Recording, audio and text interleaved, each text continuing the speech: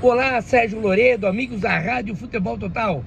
E para esse jogão do Massa Bruta na Argentina contra o Racing, apitará o venezuelano Alex Herrera.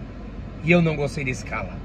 Primeiro, apesar de ser experiente, o Herrera é aquele árbitro que tem muitas oportunidades, várias escalas e nunca se firma como um bom árbitro.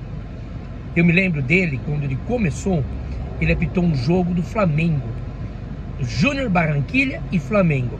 O Theo Gutierrez deu uma cotovelada na frente dele no Felipe Luiz e ele não teve peito para expulsar. Me recordo que o Palmeiras jogou contra o Bolívar lá no, na, na altitude. Entrevistado foi o Abel Ferreira. Ele disse: Olha, não perdemos para o Bolívar, perdemos por esse árbitro caseiro. Por fim, nós tivemos recentemente Uruguai e Brasil pelas eliminatórias da Copa.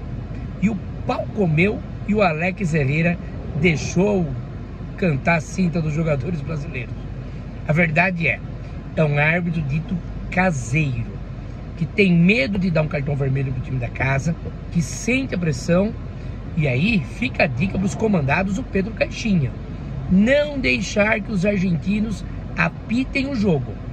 Porque se deixar, o árbitro vai entrar na onda.